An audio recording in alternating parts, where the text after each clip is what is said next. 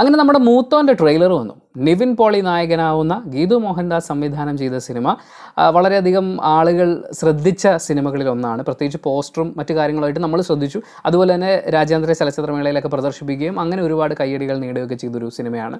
ഗീതു മോഹൻദാസ് സംവിധാനം ചെയ്യുന്ന സിനിമ എന്ന് പറയുമ്പോൾ ഒരുപാട് പ്രതീക്ഷകളുണ്ട്. നമസ്കാരം എന്റെ പേര് ഉണ്ണി എന്നാണ്. ചാനലിൽ നമ്മൾ ഇടയ്ക്ക് ഇതുപോലെ വീഡിയോസൊക്കെ ചെയ്യാറുള്ളതാണ്. ഈ വീഡിയോ ഇഷ്ടപ്പെട്ടാൽ ലൈക്ക് ചെയ്യുക. ഇഷ്ടപ്പെട്ടിട്ടില്ലെങ്കിൽ എന്തുകൊണ്ട് ഇഷ്ടപ്പെട്ടില്ല എന്ന് കമന്റ് ചെയ്യുക. ചാനൽ സബ്സ്ക്രൈബ് ചെയ്യുക. മൂത്തോന്റെ ട്രെയിലറിൽ ഏറ്റവും ആദ്യം നമ്മൾ കാണുന്നത് ദ്വീപിൽ നിന്നും ഒരു കുട്ടി ആ കുട്ടിയുടെ ചേട്ടനെ കാണാൻ വേണ്ടി മുംബൈക്ക് പോവാണ്. തിരകൾ എന്നെ മുംബൈയിലെത്തിക്കും എന്ന് വിശ്വസിക്കുന്ന കുട്ടി. അവൻ മുംബൈയിലെത്തും. അങ്ങനെ മുംബൈയിലെത്തുമ്പോൾ അവിടെ നമ്മൾ റോസി എന്നൊരു കഥാപാത്രത്തെ കാണുന്നുണ്ട്. ചേട്ടനെ അന്വേഷിച്ചു പോകുന്ന ആ കുട്ടിയോട് റോസി പറയുന്നത് ഭായിയുടെ കണ്ണിലൊന്നും പെടരുത്. ഭായിയുടെ പിള്ളേരുടെ കണ്ണിലൊന്നും പെടരുത് എന്ന്. ഭായി ആയിട്ട് പിന്നെ നമ്മൾ നിവിൻ പോളിയുടെ കഥാപാത്രത്തെ കാണുകയാണ്. ആൾ വളരെ ക്രൂവലായിട്ടുള്ള എന്തിനേയും അറ്റാക്ക് ചെയ്യുന്ന ഒരു ക്രൂരനായ ആളാണ്. അതിനുശേഷം നമ്മൾ കേൾക്കുന്ന ഒരു ഡയലോഗ് നെവിന്റെ ശബ്ദത്തിൽ കേൾക്കുന്ന ഡയലോഗ് മൂത്തോനെ കണ്ടാൽ നീ എന്ത് ചെയ്യും എന്നാണ്.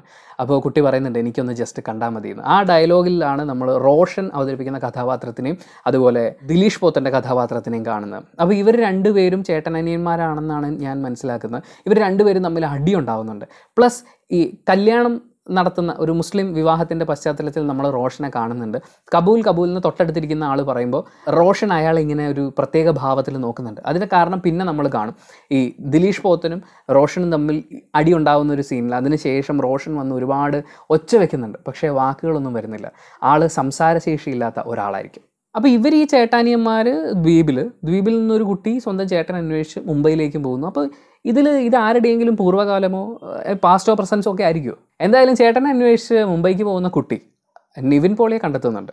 ഭായിയെ കാണുന്നുണ്ട്. ഭായിയും റോസിയും തമ്മിൽ നല്ലൊരു റിലേഷൻഷിപ്പിലാണ് അവരൊരു സ്നേഹം എന്ന് പറയുന്ന ഒരു ലെവലിലേക്കാണ്. ആൻഡ് ഈ റോസിയെ തന്നെ ഒരാൾ കഴുത്തിന് പിടിച്ച് പുറത്തേക്ക് കൊണ്ടുവരുന്ന ഷോട്ട് നമ്മൾ കാണുന്നുണ്ട്. ഉദ്ദേശം അതേപോലെ തന്നെയുള്ള ഒരാൾ നമ്മുടെ പയ്യൻ ഈ ദ്വീപിൽ നിന്ന് പോയ പയ്യനെ ആക്രമിക്കുന്നത് പോലെയുള്ള രംഗവും നമ്മൾ കാണുന്നുണ്ട്. ഡയലോഗുകൾ നമ്മൾ കേൾക്കുന്നുണ്ട്. ആൻഡ് ഇതിൽ വളരെ മാജിക്കൽ എന്നൊക്കെ പറയാവുന്ന തരത്തിൽ എനിക്ക് തോന്നിയ ഒരു ഷോട്ട് ഈ പയ്യൻ വെള്ളത്തിന്റെ അടിയിൽ കിടക്കുമ്പോൾ ഒരു വലയുടെ അപ്പുറത്തുനിന്ന് ഒരു പെൺകുട്ടി ഇവനെ തട്ടുന്നുണ്ട്. അത് എനിക്കൊന്ന് കുറച്ചും കൂടി ഒരു ഭ്രമാത്മകമായ രീതിയിൽ എന്നൊക്കെ നമ്മൾ പറയില്ല. എന്ന് പറയുന്ന പോലെ ഒരു മത്സ്യകന്യക അവനെ തൊടുന്നത് പോലെ മിക്കവാറും ദ്വീപിൽ നിന്ന് മുംബൈ വരെയുള്ള യാത്ര അത്ര എളുപ്പമായിട്ടുള്ളൊരു കാര്യമല്ല. അപ്പോൾ അങ്ങനെ പോകുന്ന സമയത്ത് കടലിൽ വീഴുകയോ അവിടെ രക്ഷിക്കാൻ ആൾ വരികയോ അങ്ങനെ ആ കുട്ടിക്ക് തോന്നുന്നതുമായിട്ടുള്ള ചില കാര്യങ്ങളൊക്കെ ആവാനുള്ളൊരു സാധ്യതയുണ്ട്. ഏറ്റവും പ്രധാനമായിട്ട് തോന്നിയതും ഒരു ക്ലൂവും കിട്ടാത്തതുമായിട്ടുള്ള ഒരു കാര്യം ഒരു ട്രാൻസ്ജെൻഡർ വേഷത്തിൽ സുജിത് ശങ്കറിനെ നമ്മൾ കാണുന്നു എന്നതാണ്. മഹേഷിന്റെ പ്രതികാരത്തിലെ ജിംസൺ കാണുന്നുണ്ട്. അപ്പം അദ്ദേഹം അതിന് ശേഷവും കുറേ സിനിമകളിൽ ഗംഭീരമായ വേഷങ്ങൾ ചെയ്തിട്ടുണ്ട്. അതിന് മുമ്പും ശേഷവും. അപ്പോൾ ഈ സിനിമയിൽ എന്തായിരിക്കും അദ്ദേഹത്തിന്റെ വേഷം? അതിന്റെ പ്രാധാന്യം? ഒരു ക്ലൂ എനിക്ക് കിട്ടിയിട്ടില്ല. മുംബൈ കൊൽക്കത്ത എന്നൊക്കെ പറയുന്ന ആ ഒരു ഒരു കളറുണ്ടല്ലോ അപ്പോൾ സ്വാഭാവികമായും ആ തരത്തിലൊരു വൻ സ്റ്റോറി മുംബൈയിലുണ്ടാവും. അതുപോലെ തന്നെ ദ്വീപിലും. ഞാൻ മനസ്സിലാക്കുന്നത് രണ്ട് പാരൽ സ്റ്റോറീസ് സ്വന്തം ചേട്ടനെ ഒന്ന് കാണുകയെങ്കിലും ചെയ്താൽ മതി എന്ന് ചിന്തിക്കുന്ന ആളും അതേസമയം ചേട്ടാനിയന്മാർ തമ്മിലൊരു വലിയ സൗഹൃദത്തിലല്ലാതെ കഴിയുന്ന അന്തരീക്ഷമൊക്കെ മിക്സ് ചെയ്തിട്ടുള്ള ഒരു തീം ആയിരിക്കാം ഒരു പക്ഷേ. എനിവേ ഇതിന്റെ കഥ വലിയ കാര്യമായിട്ട് ഡീകോഡ് ചെയ്യാൻ പറ്റിയില്ല എന്നുള്ളത് ഞാൻ അഭിമാനത്തോടു കൂടി തന്നെ പറയുന്നു. അതിഗംഭീരമായ ഒരു സിനിമയായിരിക്കും ഗീതു മോഹൻദാസ് നമുക്ക് വേണ്ടി ഉണ്ടാക്കി വെച്ചിട്ടുണ്ടാവുക. Let's watch it in the theatre പക്ഷേ അഞ്ച് ഗംഭീര കാരണങ്ങളുണ്ട്. നമ്പർ വൺ നിവിൻ പോളി എന്ന് പറയുന്ന നടനെ അതിഗംഭീരമായി ഉപയോഗിക്കാൻ പറ്റുന്ന ഒരു സംവിധായകന്റെയോ സംവിധായികയുടെയോ കുറവ് കഴിഞ്ഞ ചില ചിത്രങ്ങളിൽ പേഴ്സണലി എനിക്ക് തോന്നി. ആ കുറവ് അതിമനോഹരമായി തന്നെ പരിഹരിച്ച് ഗീതു മോഹൻദാസ് ചെയ്യിപ്പിച്ചിട്ടുണ്ടെന്ന് തോന്നുന്നു. കാരണം ആ നിവിന്റെ ഇൻട്രോയും അതിനുശേഷമുള്ള ഡയലോഗ് ഡെലിവറിയും ഒക്കെ എനിക്ക് വളരെ നാച്ചുറലായിട്ട് തോന്നി.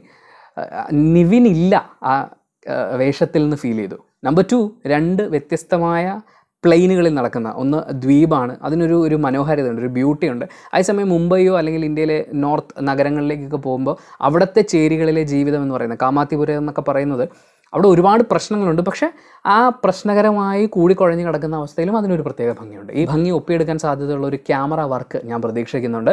നമ്പർ ത്രീ ഇതിന്റെ ട്രെയിലർ കണ്ടപ്പോഴാണെങ്കിലും അതിൽ ഉപയോഗിച്ചിട്ടുള്ള ശബ്ദവിന്യാസം. ഞാൻ ബാക്ക്ഗ്രൗണ്ട് സ്കോർ എന്നല്ല പറയുന്നത്. മൊത്തത്തിലുള്ള ശബ്ദവിന്യാസം എനിക്ക് വളരെയധികം ഇഷ്ടപ്പെട്ടു.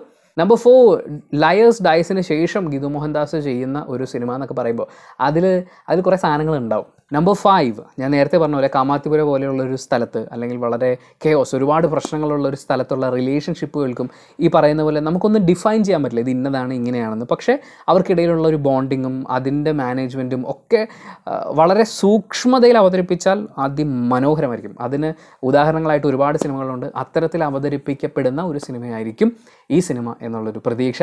Thank you so much for watching this video ഈ വീഡിയോ നിങ്ങൾക്ക് ഇഷ്ടപ്പെടുകയാണെങ്കിൽ ലൈക്ക് ചെയ്യുക. ഇഷ്ടപ്പെട്ടിട്ടില്ലെങ്കിൽ എന്തുകൊണ്ട് ഇഷ്ടപ്പെട്ടില്ല എന്ന് കമന്റ് ചെയ്യുക. ചാനൽ സബ്സ്ക്രൈബ് ചെയ്യുക. Thank so much